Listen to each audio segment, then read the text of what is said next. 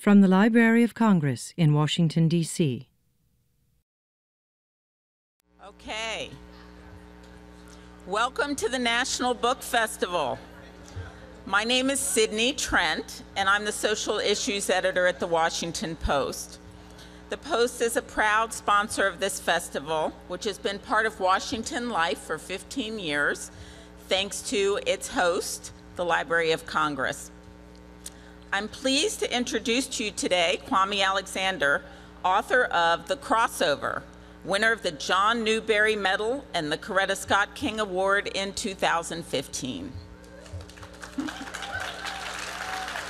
It's got a lot of fans. It's fantastic. Interviewed after receiving news of the Newbery, Kwame told the Washington Post that he, quote, tried to keep in mind what it's like to be a middle school student dealing with all the woes and wonders of the tween and teen years love, loss, friendship, family, school, homework. But basketball was the key, he said. Quote, if you couch this story of the friendship of friendship and love and family in LeBron James and Kevin Durant, you've got your hook. And then, of course, you tell the story in this gorgeous, exuberant verse, and you have the crossover. Um, for all you parents who are struggling to get your kids to read more than Snapchat and Twitter, um, you should know that uh, Kwame said his parents forced him to uh, read every day uh, before he could do anything else. So, and look, look where it took him. Today, Kwame is a New York Times best-selling author of 21 books. His other works include Acoustic Rooster and His Barnyard Band, and the young adult novel He Said, She Said. He's the founder of Book in a Day, a student-run publishing program that has created more than 3,000 student authors in 75 schools, and Leap for Ghana, an international literary project that builds libraries, trains teachers, and empowers children through literature. He visits schools and libraries, has owned several publishing companies, written for stage and television, produced jazz and book festivals, and taught in a high school, which is quite a formidable resume. Ladies and gentlemen, Kwame Alexander.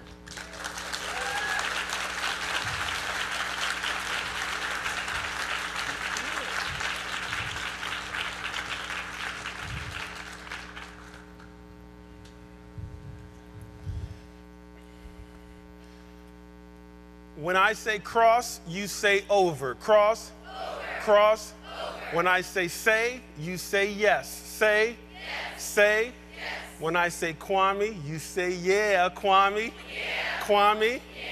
Cross. Over. Say. Yes. Y'all are ready. I love it. wow. It is such a pleasure to be here. Um, I really want to thank the National Book Festival for uh, including me in this, this 15 year anniversary of this amazing um, and, and so necessary um, celebration of literature and language. I started writing poetry when I was 12 years old. Poetry saved my life. Poetry gave me life. My first poem was a poem I wrote for my mother on Mother's Day. It was a horrible poem. Trust me, it began like this Dear Mommy, I hate Mother's Day. Who does that? The crossover.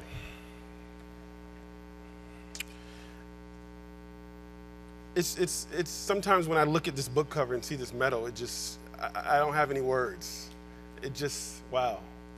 Um, I, I, I, began my writing career here in, in, in Arlington, Virginia, in the Washington, D.C. area.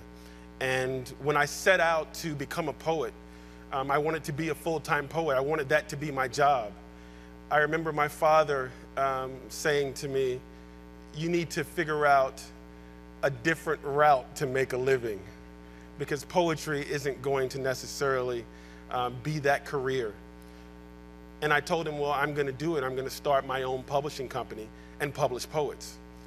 And he sort of laughed in one breath, and then in the next, he gave me a check for $1,700 in, as an investment in my publishing company, which I always found interesting that he was telling me it's not going to work, yet he was investing in my future. Um, and so part of the reason why I'm here today is because of the immersion that my, my parents made sure took place in my home that was lined with books, that was the floors were stacked with books. And part of the reason I'm here today is because they forced me to read uh, Roll of Thunder, Hear My Cry, which had this shiny sticker on it, this gold medal, and I didn't know exactly what that meant and looked at it and said, Most Distinguished Contribution to American Literature for Children. And I said, Well, I'll go ahead and read it. And read it and, and, and loved it, but didn't want to tell him because he had forced me to read it. How did we get here to the crossover? Um, I had written the crossover in the year 2008, and it was about 50 pages. And I had written 19 books prior to that and felt like this 50 pages was the best 50 pages I had ever written. It was a novel told through poetry. It was about um, a boy and, and who played basketball and who was taught by his father and, and who loved basketball. And I, I, I felt really good and sent this book off to an editor at a publishing company. And the editor sent me a wonderful email back saying, Dear Kwame, thank you so much for submitting your manuscript to us. Unfortunately, we aren't going to publish it because it's not that good. And so I went back to Panera Bread to write draft two. I write in Panera Bread because my seven year old daughter, um, she loves to play dress up and Monopoly. And so if I'm at home, I'm inevitably going to have to be in a dress and a tiara. And so I go to Panera Bread to write. And so I went back and rewrote it, and now the brother had, the, the boy had a brother and, and, and, and he, had a, he had a mother now, and the mother was a principal in the school, and, and the book was now 100 pages, and I sent the book back to the editor, and the editor says, she sends me an email, she says, Dear Kwame, thank you so much for submitting this manuscript to us. Unfortunately, it's still not that good, and we aren't going to publish it. And I felt like this was the best thing I had ever written. I'd written 19 books. I knew poetry. I had been trained by Nikki Giovanni for three years at Virginia Tech. I knew poetry. I knew how to make words dance on the page. And so I resubmitted the book two more times. I'd rewritten it. I had given the father an illness. I'd created a championship. I made the brothers twins. You know? And I'd submit it to her two more times, and I got two more wonderful emails saying, Dear Kwame, thank you for submitting your book to us. Unfortunately, we aren't going to publish it because it's still not that good. And so that's four rejections. And so I said, well, maybe I've got to do something else. And I rewrote the book again, and this time it's about 230 pages, and it was the best poetry I felt like I'd ever written. Josh Bell is my name, but Filthy McNasty is my claim to fame. Folks call me that because my game's a claim so downright dirty it'll put you to. My hair is long, my height's tall. See, I'm the next Kevin Durant, LeBron, and Chris.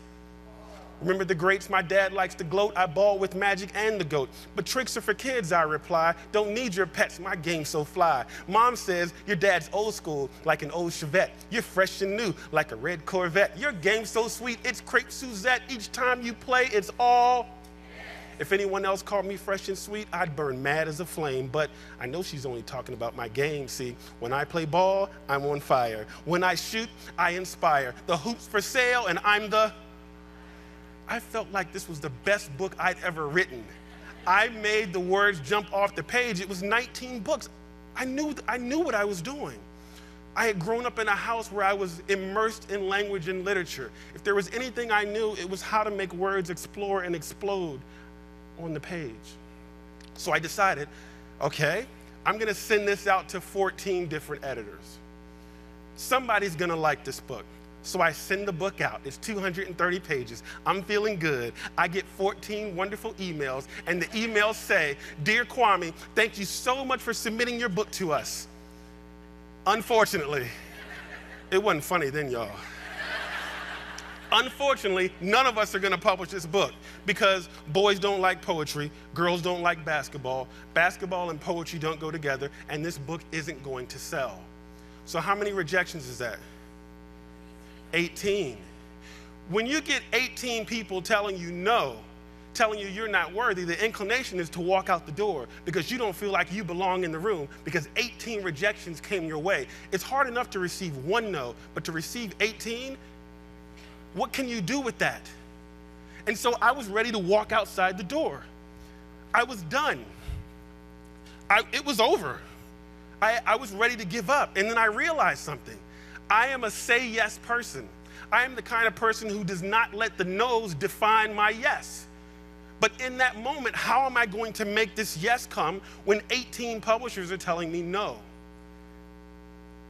How would you do it? I know it's tough, isn't it? I know. I decided to say yes to myself. I decided to embrace the no's. I decided to say, okay, in our lives, people are going to tell us no. The no's are going to come. People are going to have their expectations. Sometimes they're going to try to lower our goals based on the limitations of their expectations in life. The no's don't have to define you. So in that moment, I decided I'm going to publish this book myself. It's going to come out. And a week later, what happened? I got an email. And the email said, Dear Kwame, thank you so much for submitting your book to our company. I loved your book. Everybody on my staff has read your book, and Houghton Mifflin would like to publish your book.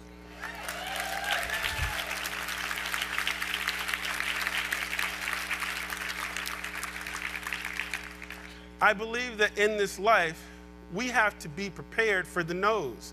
We have to allow them to come. That's just a part of how the world works. Because here's what happens when the no's come, there are so many no's in the universe. And so eventually, the no's are going to clear themselves away for what? The yes. And all it takes is one yes. That's all it takes. So then a funny thing happened. The book got published. And on February the 2nd, I received a call. And the call said, Dear Kwame. Or the call, Dear Kwame, I'm still, yeah, sorry. Sometimes as writers, we get caught in our own stories and we're off into a whole other thing. The, call, the, call, the caller said, Is this Kwame Alexander? And I said, Yes. And he said, Kwame, we're calling from the 2015 John Newbery Medal Committee. And of course, that can only be a good call, right?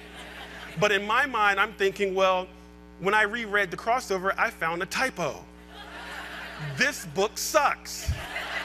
There's no way he's calling to tell me like the best news of all. So I probably he's the call is probably a second or third or fourth place, some sort of honorable mention. Okay, but I can deal with that because I came from a place of 18 rejections. And just to get the call is really just affirming. Now, the award would be great. The real reward is when the young people say to you, like the boy in Minneapolis who told me, Kwame, yo, I don't even like books, but I couldn't put yours down. That's the reward. Kwame, we're calling from the Newbery Medal Committee to tell you that your book, The Crossover, and when he says that, has won. And when he says that, what goes through my mind are the 18 no's. What goes through my mind are my father forcing me to read his books. What goes through my mind are reading Roll of Thunder, Hear My Cry. We're calling to tell you that your book, The Crossover, is the recipient of the Newbery Medal. And that, I didn't hear anything else. Because after that, in my right ear, my wife is screaming, Oh my gosh, oh my gosh, oh my gosh. We have a time limit here, and they're very strict on the time limit. And I could talk all day with these stories, so I'd love to open it up with questions now.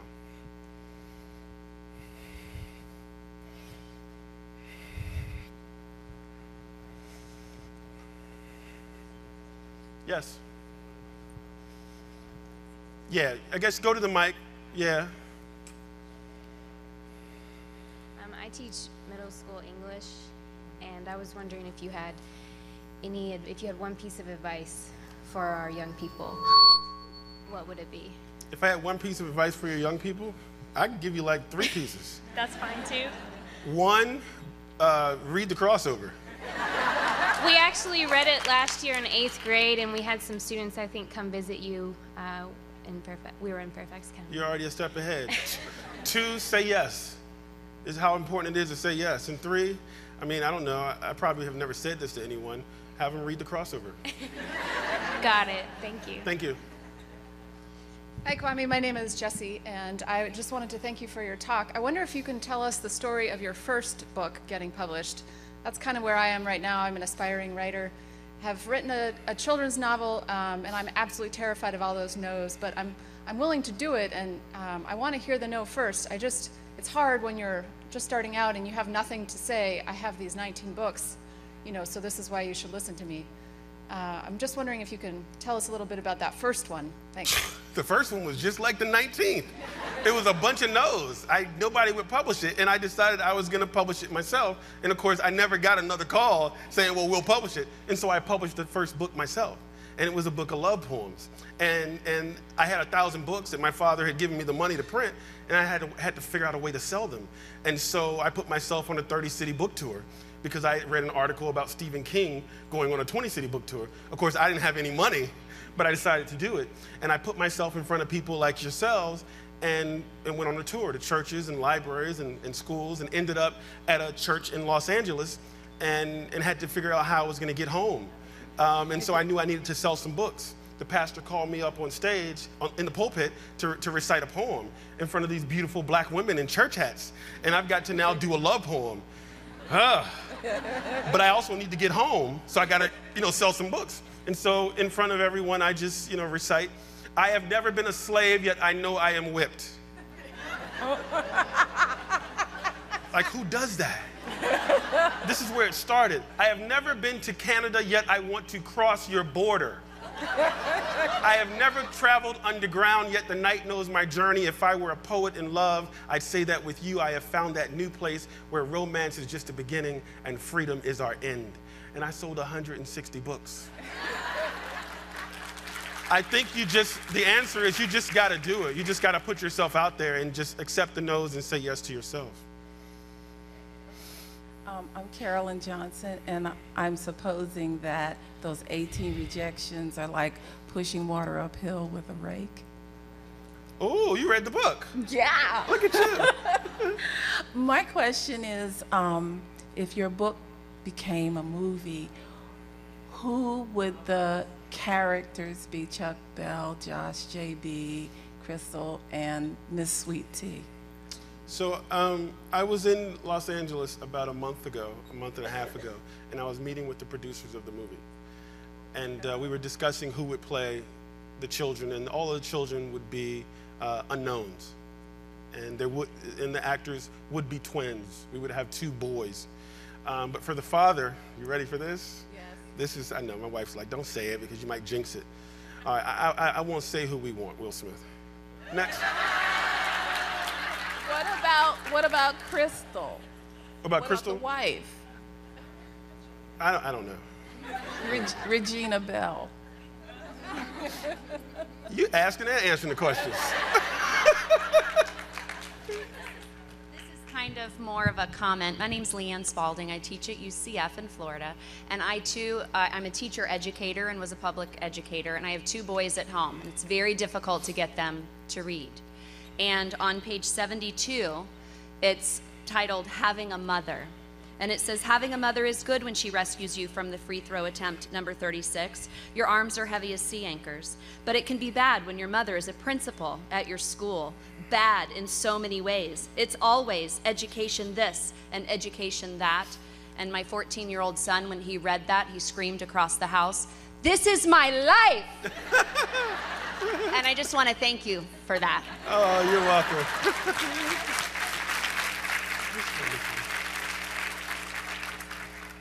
Hi, I'm Peyton Ferguson, and I wanted to ask you, Mr. Alexander, what inspired you to write this book?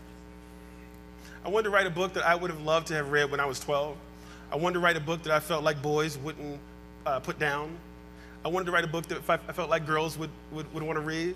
I wanted to write a book that would um, show the world that um, boys who look like me laugh, breathe, dribble, love, cry, hurt, just like everybody else. I wanted to write a book that um, boys and girls from Aurora, Illinois to Los Angeles, California to um, Hauppauge, New York to Singapore would be able to envision themselves. I wanted to write a book that would be interesting to me as an adult. I tried to do all that stuff. Yeah.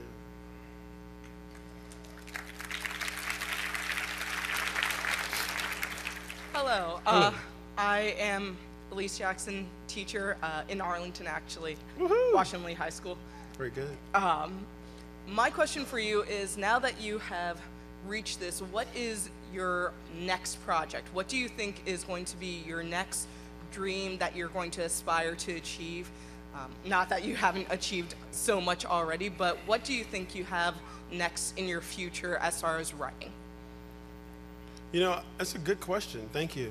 Um, I believe that writing is more than pen to paper. I believe that you have to live an authentic and a real life in order to have something authentic and real to write about. I try to, I try to live, my writerly life in, is, is about more than writing. And so I've been involved in some um, pretty dynamic projects with, with groups of writers. Like uh, we, do, we, have, we do some work in Ghana. It's called Leap for Ghana um, literacy empowerment, building a library, training teachers, providing scholarships to young girls to go to uh, high school because high school costs $1,000 a year and upwards um, in Ghana. And so um, the illiteracy rate is 60%. Those experiences, being able to travel abroad and interact with young people, it really shows me that your backyard is really global, you know? Um, I just really want to be able to spread the love, the gospel, the, the power of poetry to young people. I believe that poetry is a bridge. I believe that there's no such thing as a reluctant reader. I believe that uh, when you think about boys and they don't want to read, I believe they don't want to read books that aren't interesting to them. I believe that books are amusement parks. I believe that we need to give children the opportunity to choose the ride sometime. Um, I want to be able to showcase poetry and how it is a ladder and how when we climb a ladder, we start at, you know, sort of at the bottom and we have to climb our way up. And I don't want to say, because I don't want the poets to get upset with me, I'm not saying poetry is at the bottom, but I'm saying it's the basic building block. We expose children to accessible poetry and allow them to sort of climb that ladder. And it will, it will allow them to appreciate language and literature in a very profound and life transforming way. Um, and so I really just want to be about um, whether it's through my writing, whether it's through presenting, whether it's through interacting with young people. I want to be about the proliferation of, of poetry. Thank you for the question. Okay, so since you're saying so much about poetry, there's a slam thing going on tonight. Are you coming to it? and it's by teenagers. The It's by teenagers, are like 16, like 15 and 17, maybe 18. I love it. So they're young and in high school. I guess I'm, I'm, I'm a say yes person, so yeah, why not? yeah. Hi, Kwame. My name is Barb. I teach seventh grade language arts in Prince William County.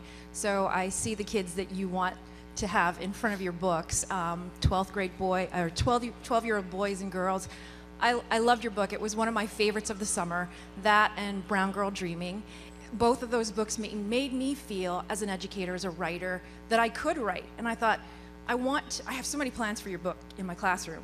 And um, I, I would like you to address those writers who, um, after their first draft, have nowhere to go in the editing and revision process. I always tell my students the first thing you write is not the best thing you write. It gets better as we go along, but I want to be able to encourage them. And I, I wondered, as a, your 12 year old self, what would you like to hear from your teachers or the grown ups around you who love you? Uh, what are those words of encouragement that I need to share with my students? I would have liked to have had teachers who danced naked on the floor. Come on, people. Come on. I would have liked to have teachers who took the risk, who shared their story, who were unafraid to put themselves out there, because then that would have allowed me to want to do the same thing. I, wanted, I, want I would have wanted to have teachers that dance naked on the floor. I believe that that's what we have to do as teachers, as librarians, as parents. We got to put ourselves out there. We got to share our business with our kids. We got to allow them we got to allow them to want to take risks, but they've got to see us do it. That's what I believe. I don't know if that answered the question, but I really wanted to say that because I believe that. Hi, I'm Karina, and I was just wondering what your top five favorite books are. Say again. Your top five favorite books. My top five favorite books. are. Wow. Well, let's take this opportunity to recognize some people who are in the audience. All right, so there is Meg Medina, who wrote an amazing book called Yaqui Delgado Wants to, etc., etc. Uh, Tia Isa wants a car. She's a picture book writer. She is a uh, young adult novelist. Um, my assistant is also a writer. She's a poet. Her name is uh, Danielle Kuhn. She has a wonderful book of poetry called Gravity. Um, I saw Mary Quattlebaum over here, uh, children's picture books. And there's some other folks in here. Um, it, my, my favorites change. They change. I mean, wow. I don't know. Percival Everett, one of my favorite novelists, Alice Walker, Nikki Giovanni, Langston Hughes, E.E. E. Cummings. I mean, it just goes on and on. It's a wonderful question. I'm sorry I'm, I'm not more articulate and more intelligent with that answer, but it, it, it vacillates. Hi, Kwame. I'm Kirsten. I'm a mom engineer, so I did not grow up reading every day, but that's one thing I'm trying to instill in my kids. So they've been reading every day. And we had a friend visiting this summer who the kids were like, Mom, you're not going to make him read every day, are you? What is he going to do when we're reading? I'm like, He's going to read. And they're like, What is he going to read? I'm like, The crossover. They're like, Yes! And he went home, and his mom just sent me an amazing email. She's like, You just broke my heart that he was reading on vacation with you. And I just want to thank you for giving me that tool because it's so hard sometimes. Our kids are all athletes and they want to be outside and they want to be playing ball. And um, that's where they are right now. They've got a tournament, so they're missing it. But I did want to hear about your Book in a Day program. I love that you're giving back, that you have a gift that you're sharing and, and with your Ghana program as well. So if you could just a little bit more on the Book in the Day. Book in a Day is a program, thank you for that. Um, Book in a Day is a program I started in 2006 that teaches young people how to write and publish books. Um, we've done the program in 76 schools, and uh, we are in the process of rolling out the program so that more schools can um, afford it and can have access to it um, with Scholastic. So, but the, the goal is if children take ownership in the publishing process, if they learn how to write well-crafted um, poetry and prose, and then are responsible for publishing that book. So they learn how to design a cover. They learn how to order a barcode. They learn how to proofread text. If they do all these things, they will um, be inducted, as Lucy Calkins likes to say, into the writerly life in a very profound and life transforming way. And so that's what Book in a Day is. Excellent. Thank you so much. Thank you. We have time for two more questions. Uh, my name is Gigi K, and I find myself teaching, um, being a librarian in a high school where I have been teaching kindergarten for the last 15 years.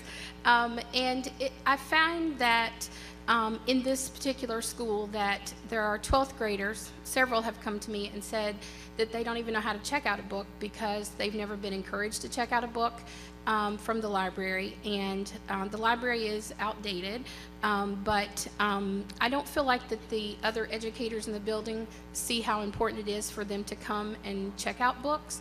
Um, they only give them books in the classroom. Could you, uh, being a former high school teacher, what could what can I say to them to encourage them, uh, or to get them on board with me, trying to get them to be more well read? Say to the young people? Uh, to the teachers. To the teachers. Mm-hmm. Well, so I lasted as a high school teacher for six months. so I'm not sure if I'm the authority on that. It's, it's, uh, that's a really, uh, that's a good question. I need to give that some thought. Okay. Let's talk after. Okay. Last question. Uh, Becky York is a friend of mine and said to say hello. Oh, Uh, Becky. um, I um, have, have picked up your book and I uh, work with kids who are athletes and I'm trying to encourage them to write. I would love to be able to write a book that they would read. And I read your poetry and I'm convinced that you're an eighth grade boy. I'd agree with that. But I'm looking and you're not. So um, I'm very handsome, right? you, there is that. there's aging that happens to all of us. The question is, how do you keep that voice that appeals to kids when you're writing it as an adult? Well, you have beautiful children, you know, and you have you have you have beautiful children who who wake up at 1:45 a.m. last night and haven't been to sleep since, um, and they inspire you. You have, um, I think, probably 40 or 50 percent of my my life is is in schools, and interacting with young people. So I'm not just sort of teaching, talking to them. I try to be a part of them. I try to be um, sort of immersed in their lives, you know, and, and that's exciting for me. I'm constantly, I think T.S. Eliot said, immature writers imitate, mature writers steal. I'm constantly borrowing from, from them and remembering what it was like for me um, to be, to be, to be in, in high school, to be in middle school. And I, I just, I, I mean, I've, I'm obviously, you know, grown now, but I still feel like I'm, you know, I've got that child in me. And, uh, and I just try to tap into that. Yeah. Um, so thank you for that. I'll end with this uh, poem that um, I went in, my, my first school visit was in Arlington, Virginia. And it was, a, yeah, it was in 1992. And I was paid $25 an hour. Um, and it was one hour.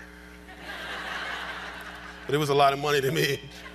And I remember going into this school, it was an alternative school, and I didn't necessarily know what that meant. And when I got there, I found out what it meant. It was uh, security and metal detector and dogs sniffing and, and, and kids who weren't, who were fighting and, and teachers who didn't care. And it was just, it was really an interesting space. And I was going in to read poetry, um, and, and no one cared. And I remember in that moment, that's sort of when I realized that poetry is sort of the great equalizer. It can be the thing um, for all of our children. If we can remember what it was like, because um, we were all taught poetry in, elementary school. We all had the Dr. Seuss and the Shel Silverstein. And something happened in middle school, and, and something happened, and, and it became incomprehensible and stayed and, and un, uninteresting, and we began to fear it. And my goal, you know, is to sort of bring back that love of poetry that many of us have forgotten. And so I told these kids, I just yelled a poem, much like I did in that church. And it was a haiku and a tanka. Um, high school students, so it was a love poem. It is not that I don't love you, she says. Indeed, I do. I want to kiss you, to lasso your lips, tame them, ride them, rein them into my stable but first, my love, you must agree to commit to a breath mint. Thank you. This has been a presentation of the Library of Congress. Visit us at loc.gov.